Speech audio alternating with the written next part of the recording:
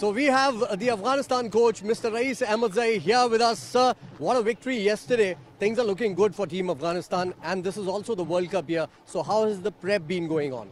Bismillah ar-Rahman. Uh, yes, uh, the way uh, we, uh, we won the last match, I think uh, the bowlers have uh, done a great job on a very good batting track. And uh, and thanks to the batsmen, uh, in a start we lose uh, the first three wickets early. Uh, but the way we cover in the middle, I think it was a good performance overall uh, from Afghanistan team. The Afghanistan bowling, you specifically talked about it, is one of the best in the world right now currently. So, you know, what are the areas that you need to work upon, especially in a year that the World Cup is coming up?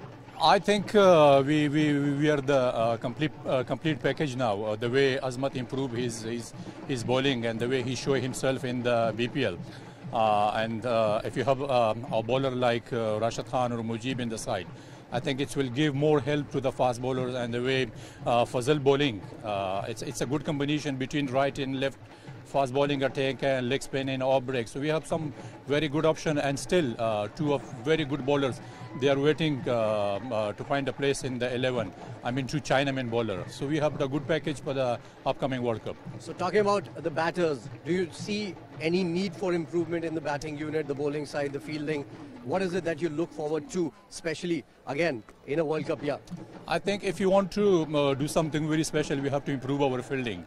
Uh, this is the area that, that, that uh, most of the time we are talking in the meetings, and the players knew that, that, that we should improve our building. Uh, in the batting side, I think uh, there, there are some more, uh, we have some very good hitters, uh, but we have to uh, like uh, work on it, to how to finish the good match, especially in the end. What can we expect from the team today?